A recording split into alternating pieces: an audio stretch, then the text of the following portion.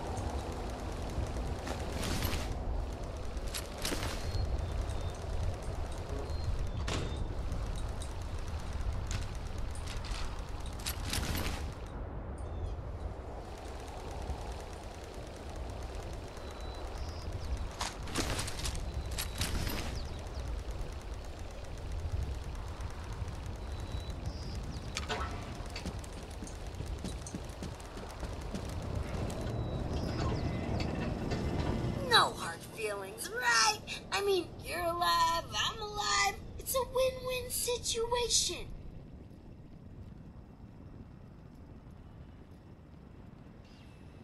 Right to the point, huh? That group you're talking about is run by this gal named Meg. I saw him head in about the same time as those other folks at Spruce Knob. If you want to talk to Meg, you gotta get on her good side, and I'm pretty sure I can swing it. Just a couple of hard-working losers. You know, the kind we like to refer to as suckers. They're giving Spruce Knob a room makeover, too. Putting up walls, rearranging furniture. That's a prime target, if you ask me. Meg thinks she's pretty tough since she ran off on Margie. She wasn't even around to see the end of it all. Bet she's loving the fact that they bailed at the perfect time. So she's bound to be way up on her high horse right about now. I thought you'd never ask. First, a peace offering. David had a trophy as a symbol of his leadership. You get that into Meg's hands, it's like passing the torch, right? Next, I'm gonna draw her ass out here with an extra special broadcast. Problem is, I need to access some old memory banks that David sealed off. He was an emotional guy. I get it. But I need you to find his original program. Which I'm pretty sure he stashed at Rosalind's memorial.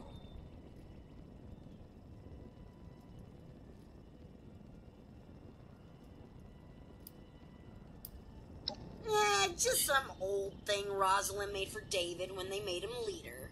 You know, sappy romantic stuff. Ever since then, it's been like his own symbol of power. Surprised? Sure, he may have killed and maimed, A few people. But that doesn't mean he ain't got feelings. I'm pretty sure that's how this whole memorial thing came about. Yeah, about that. David sort of didn't want anyone to know about the memorial. He thought the others would think he'd gone soft, and well, he probably wasn't wrong. So, hope you like playing detective. You gotta get to David's room, get the trophy, and then find something that'll tell you where that memorial is. I ain't saying you'll have to trash the place, but you may have to trash the place. Easy peasy, right?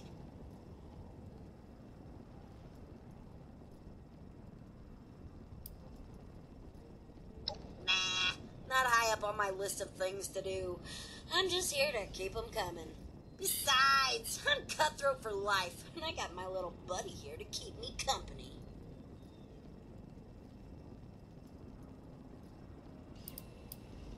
Eh, this'll always be home. I can't leave top of the world. That'd be like betraying David, and we both know that'll never happen. Also, I may have pissed off Meg once or twice back in the day. I mean, probably more, but who's counting, right? Besides, I got the best view in town, and I'm pretty sure that white crap blowing around in the valley would be hell on my filters.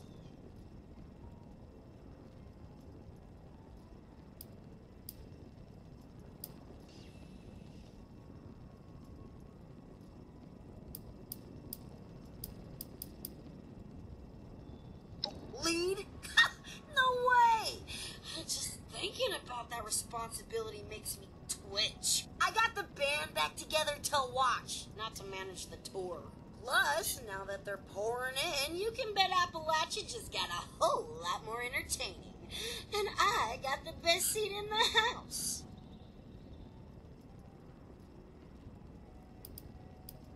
Well, duh. I mean, when it comes to being a raider, I'm sort of the best there is, so that's a no-brainer. Meg's probably keen on carving out her own territory, and the crater does look pretty sweet, minus all that powdery white crap. Eh, this'll always be cutthroat territory to her anyway, and no one wants a hand-me-down.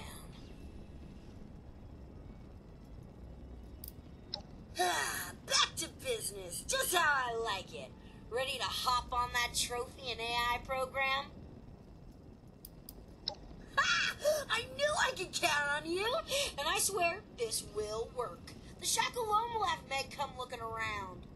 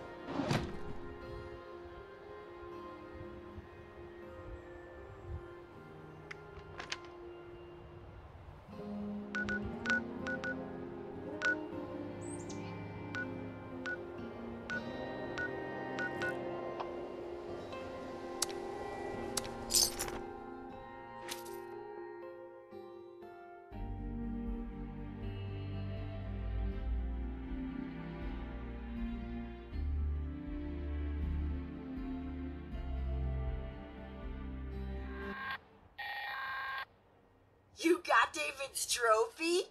Pretty cool, right? Once Meg sees that, she's gonna know you mean business. She may have been a diehard, but they all started under David. Every single one of them, even the gourmands, would have killed for that trophy. Us cutthroats had all the power and they knew it. And that trophy was the biggest symbol of them all. Nice to see it still in one piece. Hope we can say the same for Rosalind's memorial in that AI program.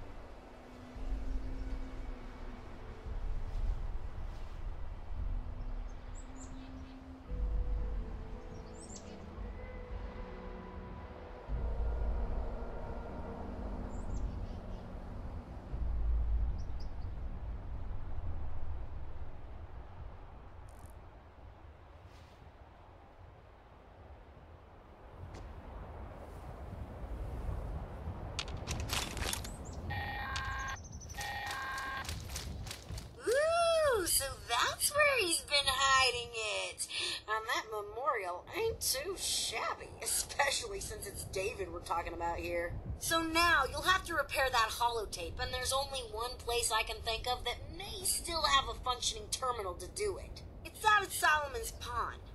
I know, I know. You're thinking, what's tech like that doing out at such a cutesy little wilderness place? Let's just say some seriously intrusive operations went down there, so I'm pretty sure it's got just what we need.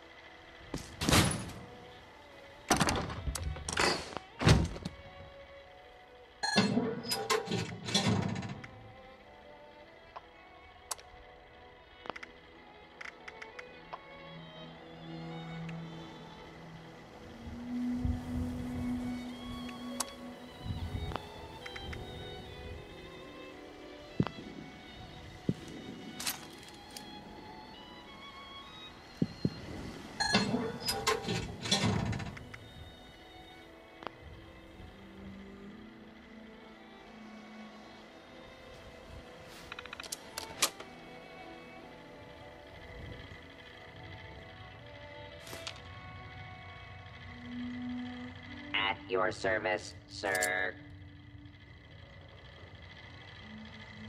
At your service, sir.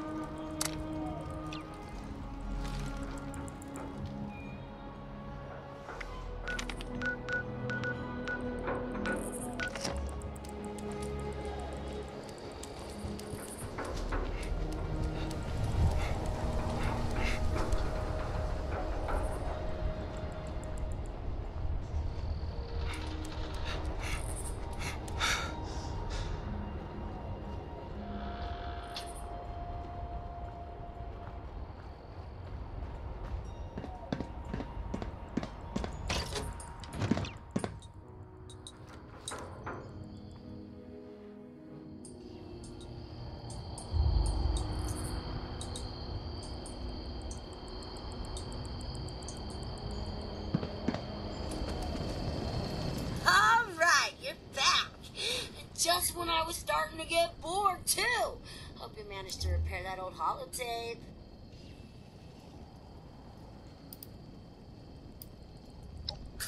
Who knows? Like I said, that guy was sensitive. Not everyone needs a constant reminder of their baggage. Eh, they were into each other.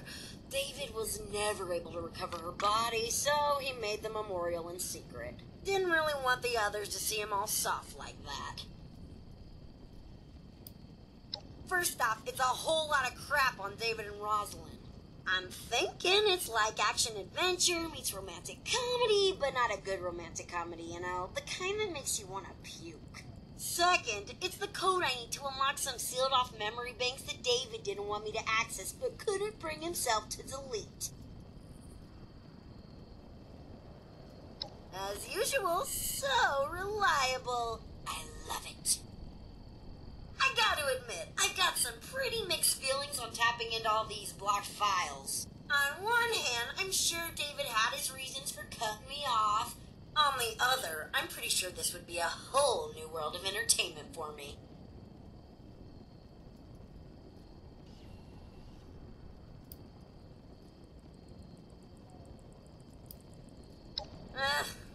Right. I don't need reality bringing me down. Now, just give me a second. Bleep, bloop, blorp, I'm computer. Let me just run some filters, a little arts and crafts, and... Are you kidding me? All this data and I don't have the one word I was looking for? okay, hate to break it to you, but I need you to go back out there and find me just one more eatsy teensy weensy holotape. Best bet is Arktos Pharma, David's old corporate stooge job. I need you to find me a holotape with David saying the word negotiate. Yep, no negotiate, no compromise. It was his way or the highway. It's part of what made him such a badass leader. Just using my amazing skills to put together a little broadcast for Meg with David's voice. If she thinks there's even a chance that David's still alive, I guarantee she'll come running. Not because she likes him or anything. Ugh, gross. But if David pulled through and she bailed, she knows he'll be out for her. My hero. Now get out there and don't get yourself killed. Did I just say that? it makes me feel like a mom.